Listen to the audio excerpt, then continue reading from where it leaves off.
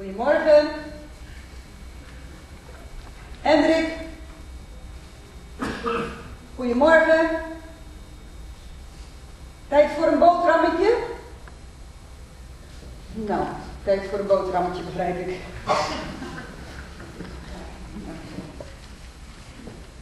Het is hier best wel heet in het huisje, hè? Oh. Mensen, dat koud en. Even de keuken op deze kant.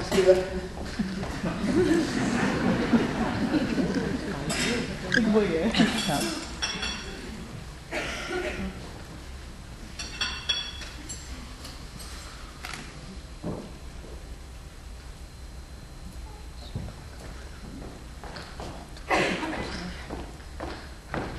Meneer Brouwer, even dan maar voor de knietjes.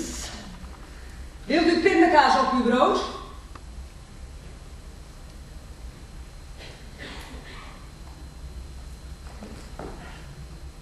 Wilt u op uw brood? Ja, hè? Duidelijk. Pindakaas. Komt dat even mooi uit?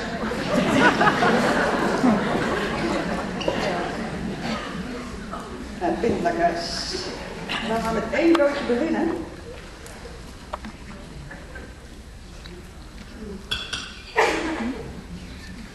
Ik heb in zijn zorgmap gelezen dat ik het wel even moet klaarmaken. Dus dat doe ik dan maar even. En we hebben heus uitgeprobeerd of het allemaal zelf nog kan. Meneer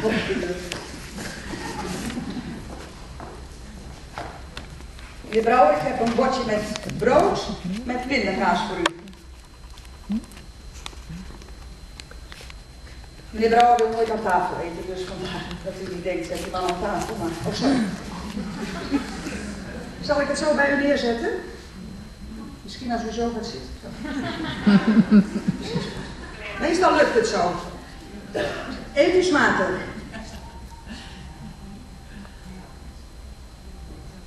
Zo, Heerlijke boterham met pindakaas. Ja. Dan ruikt hij wel lekker. Goed? Oh, gaat helemaal goed. Even kijken. Nou, even zien.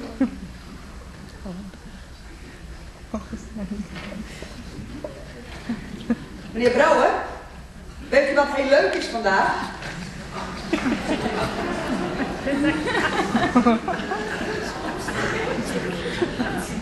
U staat in de wijkkrant. We hebben net de wijkkrant gekregen en er staat u in. De heer Brouwer zit al klaar voor een bezoek.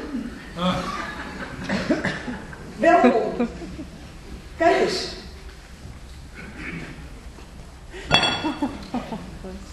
Net te laat. Kijk eens, u staat in de wijkrand. Oh, wat ontzettend fijn dat u er bent. Ja, u komt eh, de opening verzorgen. Ja, dat was de bedoeling. Ja, ja, nou dit is het nou. Ja, het is, eh, we zijn nu een eh, maand of vijf bezig. Dus eh, bewoners, de meeste bewoners voelen zich al behoorlijk op hun, eh, op hun nou, thuis, zal ik maar zeggen. We doen een beetje er alles aan dat, weet u, zo'n schemerlamp die nog meebrengt, een, een stoeltje. We bakken hier onze eigen cake. Dus ik hoop dat u even de tijd hebt om, het is de eerste keer dat ik cake bak, dus het zal even klappen, maar misschien geweten. Maar, eh. Oh, dat is, oh, dat, dat zal ik me even voorstellen, is, me- is mevrouw Kleijsma. Mevrouw Kleijsma, hier is ze nou. Ah, de burgemeester? Nou, zo, zo, zo niet, hè? Ja. Oh ja. Ja. Oh, wat, wat, wat zeg je eigenlijk dat iemand die kamer niet is? Niks. Oh, oh. Dag mevrouw, ik ben mevrouw Kleinsma, geboren Bronger. Ja, U woont hier. En bevalt dat? Ach, we hebben, voor u speciaal, eh, speciaal we hebben deze voor u, eh, voor, u gehuurd. Weet je. Kijk, de- normaal gesproken gebruiken ze niet zo, maar eh, we, we hebben een hele hoop gasten. Ja, dit is mevrouw Kant van de Tweede Kamer. Burgemeester, Ja. dat niet vaak. Eh, maar, ja, ik, ik ben geen technicus van geboorte, maar ik, ik heb voor de zorg gekozen. Dat is ook fijn. Ja. Ja, En hij doet het ook nog zo te horen. ja, ja. Dan hadden we zo, eh, eh, zo gedacht, we hebben... ja, ja. Dat, ik, dat ik even de gasten welkom eh, eh, heet.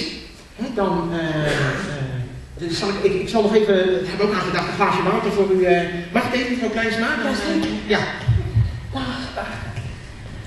Fijn dat u er bent. Ja, de burgemeester komt nooit op bezoek eigenlijk. Fijn. Eh, hartelijk welkom ook allemaal namens mij. Eh, ik ben inderdaad vereerd om dit te mogen doen. En ik moet je eerlijk zeggen dat ik wel even drie keer heb moeten lezen wat precies de bedoeling was van vandaag. Want ik, voordat ik door had wat ik er eigenlijk aan het openen ben. Last want ik dacht eerst dat ik eh, inderdaad een, een wer- daadwerkelijk eh, eh, een nieuw initiatief van kleinschalig wonen voor ouderen, met ouderen zou openen vandaag. Maar dat bleek niet het geval. Maar aan de andere kant ook weer wel. Want het is wel iets wat echt bestaat. Alleen het is bedoeld om mensen die gaan werken in kleinschalige woonvoorzieningen eh, ja, te leren oefenen en laten aanvoelen eh, hoe dat werkt. Dus vandaag open ik hierbij officieel eh, deze mooie woonvorm Schoolstraat 2, als ik het goed heb. Ik vind het een heel mooi en bijzonder initiatief. omdat het voortkomt uit iets waar mijn hart ligt en wat ik heel erg belangrijk vind. Ik wil u eerst even meenemen eh, naar een hele, eh, toch wel een jaar of vijf, zes, zeven terug. Ik ben nu zelf eh, negen jaar Kamerlid. Toen ik twee jaar Kamerlid was, zo ongeveer, toen kwamen voor het eerst de enorme schrijnende verhalen over de situaties in verpleeghuizen naar voren. Ik heb daar toen zelf ook een meldpunt voor geopend om te luisteren van wat is er aan de hand. Ik ben op werkbezoek gegaan. En eh, nou ja, die bal ging rollen, ook eh, landelijk in de politiek, allerlei actualiteitenprogramma's, kranten stonden er vol van. En ook u, heeft vast nog wel toen die reportage gezien met schokkende verhalen van tekortschietende zorg in de verpleeghuizen. Nou, sinds eh, dat, is gewoon, dat, bleek van de week weer, dat eh, er nog meer bezuinigd gaat worden. Er is al de efficiëntiekorting op de hele AWBZ, dus ook uw werk, van de 1%. Dus wat met de ene hand wordt gegeven, werkdrukverlaging, 5000 mensen erbij, wordt met de andere hand dus op een andere manier gewoon weer. En van de week bleek dat op de, op de, op de ondersteuning in zijn algemeenheid, op de tarieven, gewoon even 7% ook nog eh, afgehaald wordt. Ik weet niet eh, hoe zij denken dat het allemaal op een verantwoorde manier kan. Ik denk van niet. Maar ik vind wel, en dat compliment daar wil ik dan mee afsluiten. Ik vind wel dat de sector haar deel heeft gedaan. De politiek niet. Ik zal ervoor strijden dat dat ook gaat gebeuren. Maar u heeft uw deel gedaan. Ik ben ontzettend gelukkig dat de afgelopen jaren een enorme kentering gaande is in de manier waarop eh, we, eh, de verpleeghuiszorg en de ouderenzorg eh, wordt geregeld in het land. En ik ben er echt van overtuigd dat dit de toekomst heeft. En vandaar dat ik ontzettend blij ben dat ook in de opleiding van mensen van hoe gaan we hiermee om, nu zoveel aandacht is. En ik wens daar heel veel succes mee.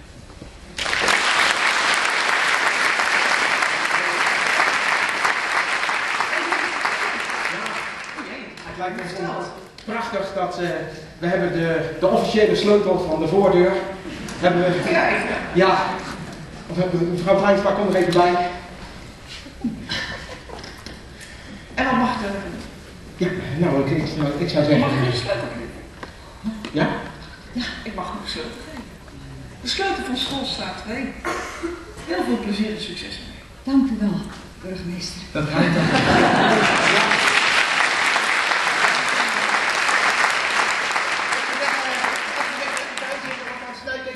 Ik zou het ook heel fijn vinden dat u even een kopje eh,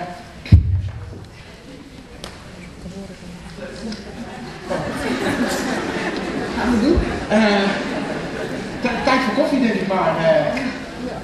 help me even onthouden waar de sleutel is voor vanavond. Ja, kom even lekker zitten, mevrouw uh, Kleinsma. Ik, eh, ik ga de cake uit de, eh, uit de oven halen. Ik heb namelijk cake gebakken. Oh, Ja?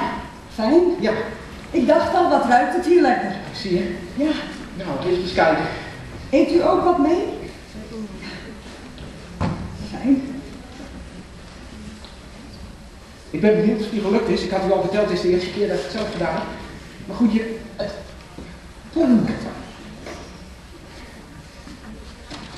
Weet je, is die wel? dit, dit, dit. Ah, prachtig. Ja, Kijk die, eens. is die mooi? Nou, even kijken. Krijg ik ook wat? Ja, natuurlijk.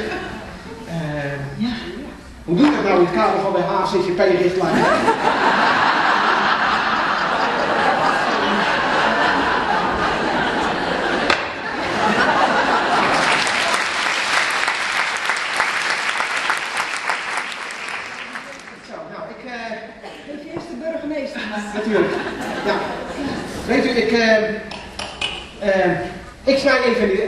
snij even cake eh, ondertussen. En dan is er, eh, dan is er eh, we hebben een heleboel koffie gezet. En nou die eh, even, even, even tellen. Het wordt niet zo heel dik, dik plakje, maar dat vind ik vast niet erg. Maar u krijgt hem, u krijgt hem lekker bij, bij de koffie. En ik, ik, ik zou zeggen, voordat u... na, na de koffie, mevrouw Kleinsma, na de koffie is weer uw favoriete vereniging. Hè? Ja, weet u nog? U, Ja, weet, natuurlijk weet ik Ja. ook nog. ja, ja. Dus dan... eh ja. Nee, dat, dat, dat is fijn. Dus dan eh, zou ik zeggen van, zorg er allemaal dat u op tijd bij de, eh, bij de vereniging bent. Hè, want het is voor, natuurlijk voor de, voor de vrijwilligers en voor de aanbieders en voor alle mensen die de vereniging organiseren. Altijd weer fijn als we op tijd zijn. En die rijdt dan weer. Ik wens u een heerlijke koffie met elkaar. En, eh,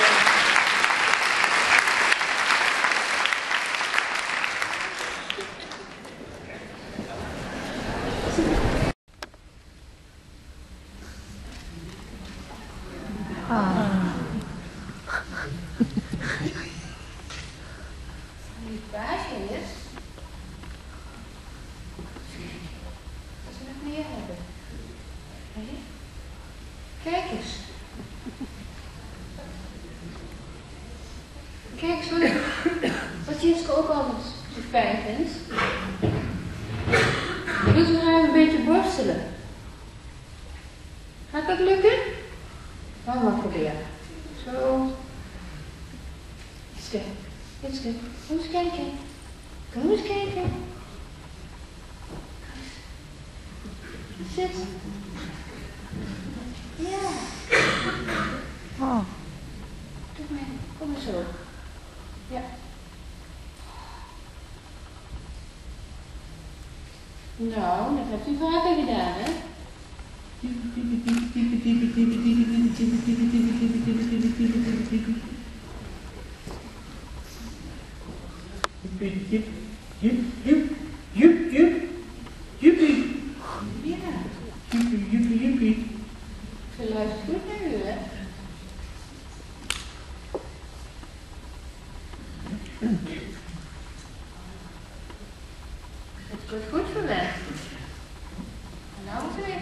window.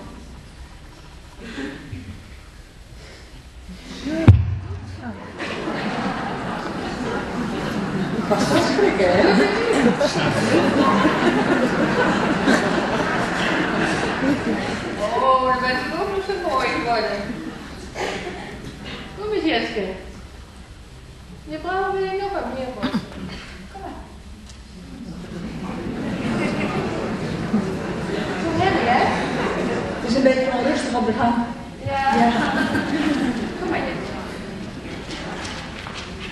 Even de gang kijken.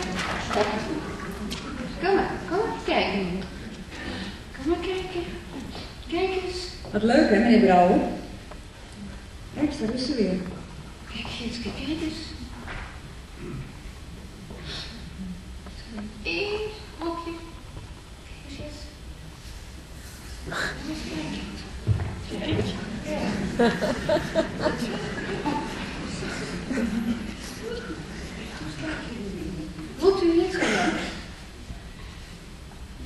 emotional over. Beep, beep, beep, beep, beep, beep, beep, beep.